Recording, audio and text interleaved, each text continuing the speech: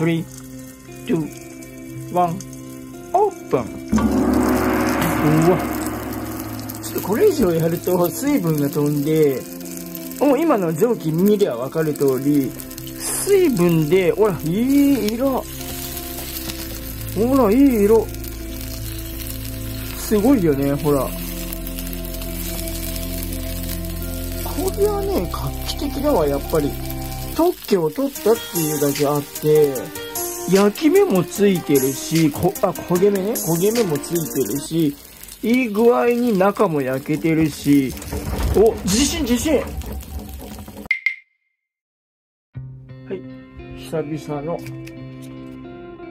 レンジメイトプロの、えー、調理をやりたいと思います。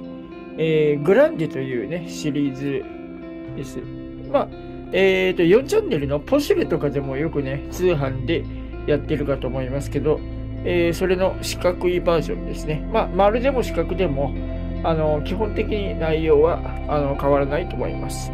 でね、一応ね、注意したいのが、3分以上の空炊きね、空炊きは絶対に行わないでください。っていうことなので、ここら辺ね、間違えちゃうと、空炊き1分ぐらい、あの、前やったことあるんだけど、3分以上やると、ひょっとすると壊れちゃうかもしれないので、ここは、まあ、本当の注意ですね。注意事項だと思います。これね、あの、一緒に、これです。レンジメイトプロ。ではね、今日はね、あの、昨日ね、3月20日でね、お墓まで行ってきてね、あの、帰りに買った、あの、お寿司の残り、えー、残りですね。あの、本当は昨日中に食べてないといけないんだけど、母親が残しちゃったんで、これをね、レンジメイトプロに入れるのと、入れてちょっと温めてどうなるのか、あのー、やってみたいなと思うのと、あと、そのおかずとして、鮭ですね。鮭、この間サバやったんだけどさ、あのー、サバはさ、えー、なんかうまく焼けなかったのよ。まあ、よく考えるとね、水分がやっぱ多いと、あのー、焼き焦げにくいんですね。ただ、あの、ウインナーソーセージは結構焼けてたので、あの、やっぱりね、あのー、水分がで出てたのが問題かなとも思うわけですね。なので、えー、お寿司を温めてから、まあ、どうなるかね、やってみて。で、次に、えー、鮭ですね。塩銀鮭っていうの？塩銀鮭を温めてみたいなと思います。ではね、まずね、あのー、お寿司を入れますね。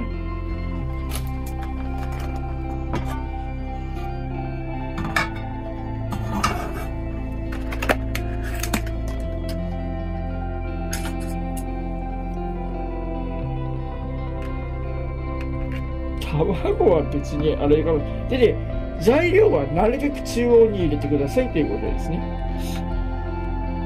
別に1日取っちゃってるけど、このままで食べれるお寿司なんだよね。別にこのままで食べれるんだけど、あの、ちょっとね、温めて食べようということですね。レンジメイトプロ。やったことある人って、そういないでしょ？あの、お寿司をさ、もったいないって、と、当然言う人がいると思うんだけど、あの、このままね、食べたいなっていう人は当然いっぱいいると思うんだけど、まあ、やったことないことやるのが YouTuber なんで、あのね、お寿司をレンジメイトプロで温めたらどうなるのか。ということですね。これ中トロです。中トロ。結構油乗ってて美味しそうですよね。ちょっとね、中央に寄らないけど、こんな感じかな。で、これはさ、醤油2つ入ってました。これなんだろうね。あ、あれだ。あのね、昨日、半分は俺食べたんだけど、あれが入ってた。ではね、これね、今から、えー、まあ3分ぐらい温めてみましょうか。ではね、行ってきます。ではね、蓋をして、電子レンジへ、レッツゴー。さあ、3分経ちました。それではですね、あの、お寿司がどうなってるか。3、2、1、オープン。おお。それほどさ、あのー、まあ、温まっただけって感じ？そんなにさ、あのー、お肉の色が変わってるとかって、まあ、お肉じゃないんだけど、お刺身の色が変わってるってことはないですね。まあ、これ、まあ、そのままいけそうなので、と器に、この、ちょっとこの大きな器に移動しますね。ただ温まっただけですね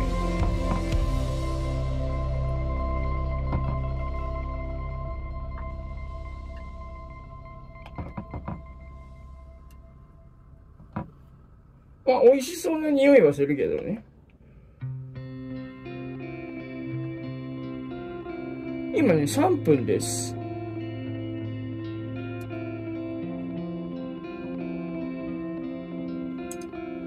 してこれはね、洗ってきますね、一回。で、こんな感じになりました。こんな感じ？あの、普通に温まりましたね。レンジのところ。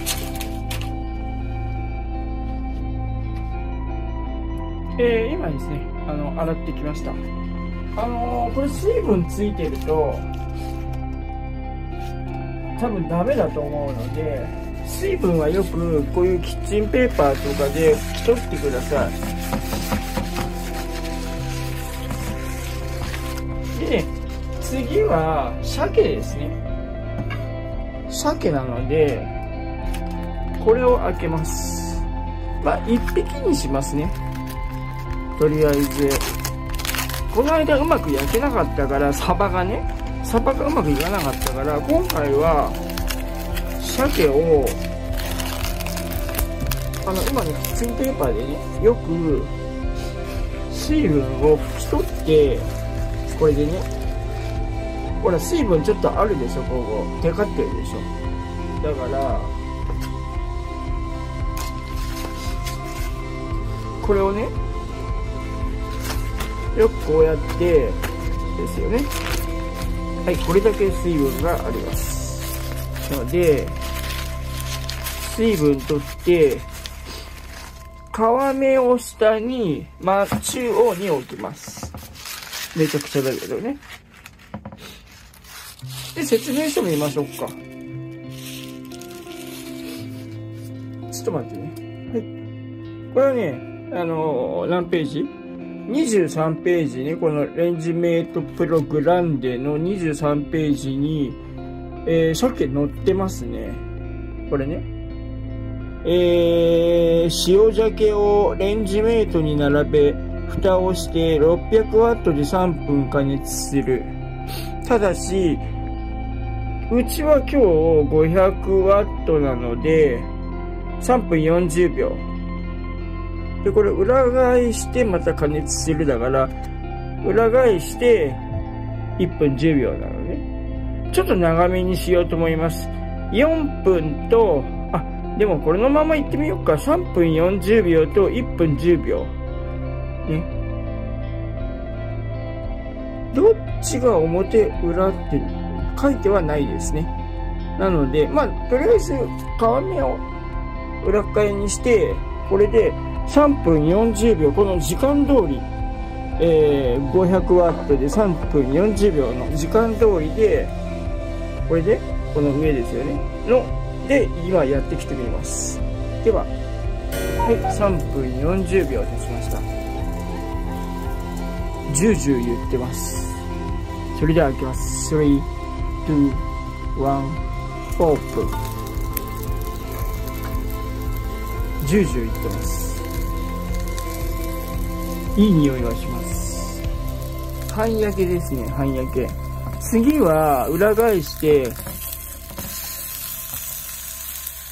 1分10秒です。きっと今回はいい感じじゃないの？では行ってまいります。1分10秒さあ裏面も1分10秒やってきました。説明書通りですこれは。それでは行きますよ。3 2 1オープン。お場所が移動してますけど焦げ目はつきましたね。そしておお焦げ目ついてるよ。悪くないんじゃない？この間は、水分が多いサバだったから、焦げ目がね、つかなかったのかもしれない。これちょっと開いてみましょうか。もうこのままで食べれますね。若干さ、あの、色があれだから、もう、3分40秒やってきてみようか。これで。どうなるか。いや、もう、十分食べれると思うんだけど、ちょっと今回はいろいろと検証してみたくて、もう3分40秒、要は倍ですね。倍やってみようと思います。はい。さらに3分40秒やってきました。なので、合わせると7分以上ですよね。それではいきますよ。3、2、1、オープン。うわえっ、とね、中まで火が通ってますね。中まで火が通ってます。で、裏はどうなったかっていうと、7分も温めると、いい感じに焦げてます。皮が硬くなったかな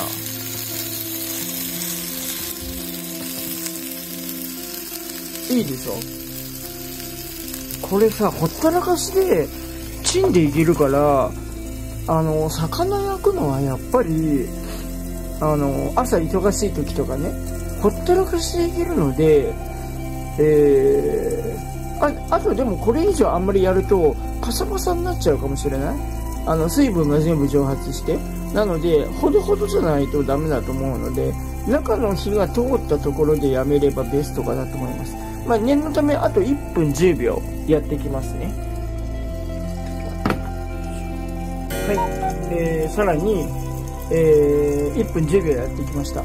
なので合わせると10分ぐらいからねやっちゃってます。ではね開きますね。3 2ワンオープンうわ。ちょっとこれ以上やると水分が飛んでもう今の蒸気見りゃ分かる通り水分でほらいい色。ほらいい色。すごいよねほら。これはね画期的だわやっぱり。特許を取ったっていうだけあって。焼き目もついてるしこあ焦げ目ね。焦げ目もついてるしいい具合に中も焼けてるし。お自信自信。地震です。ちょっと急に。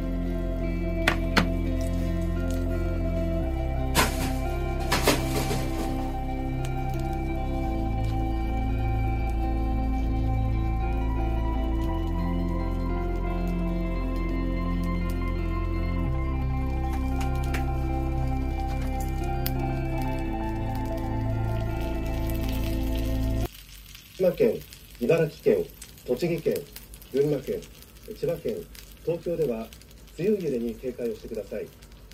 倒れやすい家具などからは離れてください。テーブルや机の下に隠れてください。頭を守ってください。えーと、今ねそ、して頭を守るように。3月21日、え震度の情報が入りました。撮影中に大地震が起こりました。茨城県南部栃木県南部おそらく震度4です。埼玉県北部埼玉県南部で観測しています。震度4を繰り返します。茨城県震度3か。えー新しい情報が入りました。震度の情報が入っています。震度5弱栃木県南部と埼玉県北部で観測しています。震度5弱栃木県南部震度5弱です。栃木。震源が海底ですと津波の恐れがあります。海岸や川の近くからは離れてじゃあね、あの、とりあえず、あのまだね、すぐに大地震が来る可能性もあるので、早めに食べちゃいたいと思います。あのね、停電する可能性もあるんですね。だってこの間の能登半島のも、地震があって、すぐに大地震来ちゃったんですよ。なので、とりあえずさ、早めに撮影を終えないと。また震度4茨城県北部茨城県南部ちょっとね、地震情報も合わせて、今、びっくりだわ。震源については気象庁で現在調べていますが震源が海底ですと、えー新しい情報です。えーこの地震による津波の心配はありません。この地震による津波の心配はありません。津波の心配はないと。8分頃ではね、味見をしたいと思います。塩鮭ですね。5弱を観測する地震がありましたうわ、びっくり画面が少し揺れているのがわかります。えー千葉では、ではね、えいざべ、あの、塩鮭、実食。震度4を観測しています。うん。うめ震度5弱これね。火使わなくていいでしょ。で、おそらくだけど、片面 5, 5分、片面5、5分で裏返して2分やれば、5 500ワットの人はね、これで十分。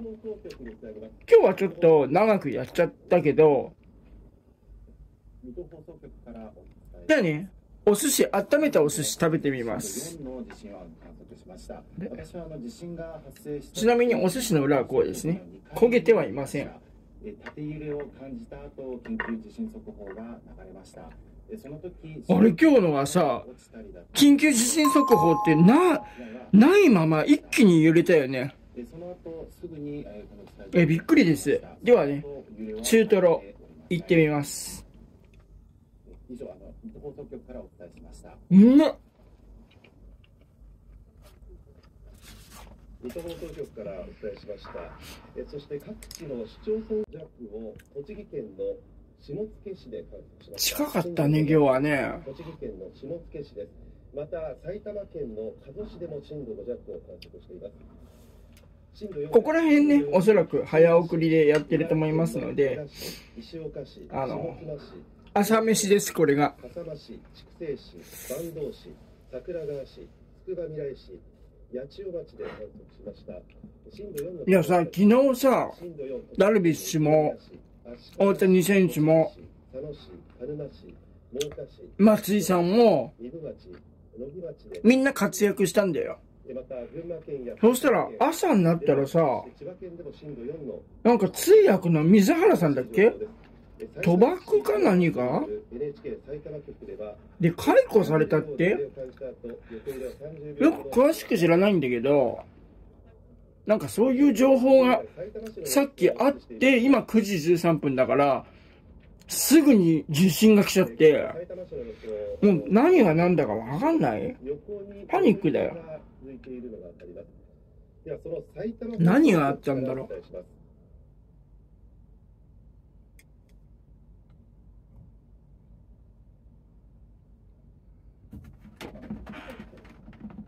はい、音声が来ていないようです。埼玉放送局からお伝えします。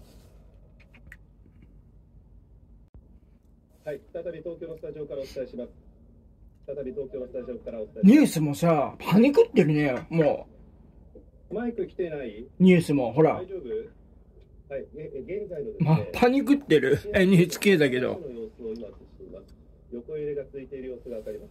皆さん、揺れが収まって安全の確認をしてから、火の元の確認をするようにしてください。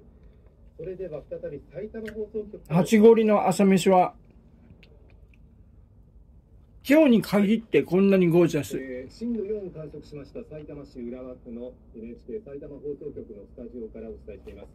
えー最初やっぱ埼玉がすごかったみたいコツコツというえー揺れをえ俺だってさ、立ってて、いきなり揺れたじゃん。地震でした。地震、何 ?YouTube になっちゃったよ。のものなどが落ちるような被害はありませんでした。震度5弱を観測している加須市からこのえ埼玉市、え埼玉市のこう埼玉放送局は、30キロほど離れていますが、いやでもね、震度4まだゆあの油断しちゃいけないのよ。コツコツコツと下からほんとね、の能登半島のはね、地震が来てすぐ15分後ぐらいに大地震だったのよ。だから、またすいあのいつ来るかわかんないから、だから今急いで食べてんだけど、常通り、通常通り動いているように見えています。埼玉の NHK 埼玉放送局からはい、NHK 埼玉放送局がある埼玉市浦和区では震度4を観測しました。はい、えー、埼玉市内のですね、現在の様子が入ってきています。埼玉市内、現在の様子が入っています。埼玉市南区の様子です。車の中から、えーの映像となっています。南区も大地震が今からね、来るかもしんない。あ、ほら、お寿司の裏、焦げてるこれほら。ちょっと垂れちゃったけど、焦げてるよ。あ、焦げてるほら。焦げてるこれほら。見えるかな？なんかついてるけど。焦げてるよ。だからお寿司も3分かな？やったと思うんだけど、焦げてます。ほら。焦げてるやん、お寿司。裏は、米が。えー、埼玉市、えー、公道を走っています。移動中の、えー、助手席から見ほら。これもそうでしょ？焦げてんでしょ？運転中に、えー、弱い揺れを感じました。弱い揺れ？運転中でしたが、揺れているあ車だとそうなるのかもしれんな。ただ、ここが、ここから今見ている限り、特段変わった様子は、今のところ見てあげません。まっ。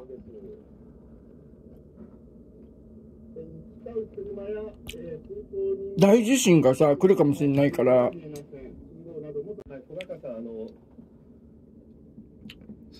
今ね、車で走ってる中継車がいますね。テレビで。そして人々の様子なども伝えてください。えー埼玉市南区が戸田市の方に向かって移動しています。移動中の車の助手席からの見た目です。9時8分のえ先ほど地震発生で、今9時18分だから、地震から10分経ちました。通行人なども普段通りのように見えます。焦げてる後ろは。動作しています。だから、ほら、ね、あの、ーお寿司をレンジメートでやると、裏だけ焦げて。あの、美味しくなる。はい、えーそれでは続いて NHK 宇都宮放送局からお伝えします。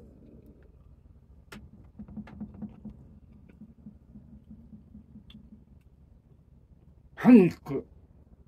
パニック NHK も今。はい、宇都宮、えっと、地震が起きたとき、私は宇都宮放送局内で座っていました。小さな横揺れを5秒ほど感じた後、ドシンという大きな縦揺れがありました。その後、また15秒ほど揺れを感じましたが、棚などから物が落ちることはありませんでした。以上、宇都宮局からお伝えしました。下手くそだね、今の女の人。宇都宮放送局からお伝えしました新しい情報ですえ原子力発電所に関する情報です日本原子力発電によりますと茨城県東海村にある東海第二原子力発電所は現在運転を停止していますが先ほどの地震による異常がないか確認をしています確認中だよね。そうだよね。そして鉄道の情報です。JR 東日本によりますと、先ほどの地震で、午前9時15分現在、首都圏の在来線は通常通り運行しているということです。最大震度5弱の揺れを観測しましたが、大地震がね、来るかもしんないよ、この後。下げたものが激しく揺れ、棚から物が落ちることがあります。皆さん、足元に十分注意するようにしてください。でそれでは、え社会の災害担当、若林記者とお伝えしていきましょう。木ですとか本が落ちたり、あるいはあの固定していない、えー家具が、まあ、不安定なものが倒れたりまあ、そういった被害が出る恐れがあります。またあのお寿司美味しくなったわ出られている方も多いかもしれませんけれども、あの屋外では上は焦げなくて、裏っ側だけね、焦げて、いい感じでしたね。落石、あとまあ崖の近いところですと、崖崩れが起きたりする恐れもありますので、はいまあ、そういった場所からはあの離れるように。鮭もね、美味しい。で、あの室内ではですね、例えばあの割れた食器ですとか、あるいはあのガラスなど。まあ皆さんもね、あの、家の電子レンジのまあ決して無理はせずにですね、あの室内でワット数が同じでも、やっぱり若干違うかもしれないんだよね。あの、いろんな、ほら、あのーメーカーによって差があったりするでしょう。だから、あくまでも目安であって、この鮭が水分多かったり、凍ってたりしたら、全く時間は違うので、甘いなと思ったら、さらに追加して、温めればいいので、あの。説明書はね、あくまでも目安って書いてあるので、それでクレーム言ってもしょうがないのでうちの電子レンジだと、これは何分だなっていうのをやってみてね。で、朝の忙しい時の時間短縮にうまくね、できればなということでしょうね。まあ、そういったところもあの今後ですね、あのまあ震源地付近の方々を中心に最新の情報にあのま注意していただきたいというふうに思います。あと、火の始末など、まあ、時間が少し経ちましたけども、いや、地震はさ、それは最後の一個ねサーモンです。またあの特にまあちょうどこうあの今まあお仕事ですとかあの通勤通学こう動かれているようなあの状況だと思いますのであのまあまた揺れが起きたりする恐れもあると思いますので、まああのさ、鮭もね、うまいよ、これ。うまかった。周囲の方々への声かけとかですね、そのあたり落そうですねやはりあのまああのごちそうさまでした。ではですね、えー、今回のレンジメイトプロは100点です。時短になるし、焦げがこれ以上焦げない。ただあんまり長くやると水分飛んでっちゃうので、多分パサパサになっちゃうと思うので、ほどほどにやることですね。一応、だから裏返してみて、あと中は、今日のはね、割ってみて、中までどうか確認して、さらに追加で何分ってやったので、まあ皆さんもね、こういうようなやり方で、あの、やってみるといいんじゃないかな。あと、お寿司の方はね、これはね、あの、普通に生で食べるのがいいとは思うんだけど、ま、あ、お寿司、あの、レンジメイトプロでね、温めてみたらどうなるのかっていう検証の動画でした。まあ皆さん、あのね、これからまたいろんなのやりますので、あの、皆さんまた私の YouTube ですね、あの、ご覧になっていただけたらと思います。では、バーイ、ハチゴリ。地震には皆さん注意してください。一回来ても、すぐその後来るかもしれないので、熊本もそうだったよね。だから、あの、一回来て、はい、終わりじゃなくて、次はもっと大きいのが来るかもしれないので、その心持ちが必要かと思います。では、皆さん、気をつけて、バイ。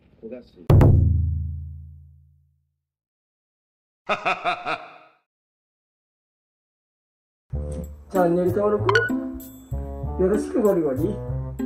チャンネル登録よろしくゴリゴリ。チャンネル登録をお願いいたします。